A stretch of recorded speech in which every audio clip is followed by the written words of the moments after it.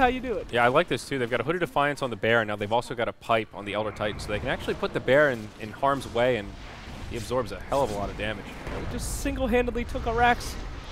Good panda. You know they say pandas don't want to uh, procreate anymore, but that panda sure is fucking DC.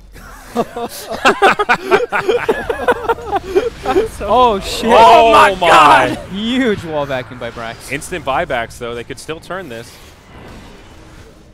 We in the front lines with some big damage. Woo! Shazam's going to get punished pretty hard here. yeah, and that's gonna be the. He should die twice with that Aegis. Wait Looks a like second.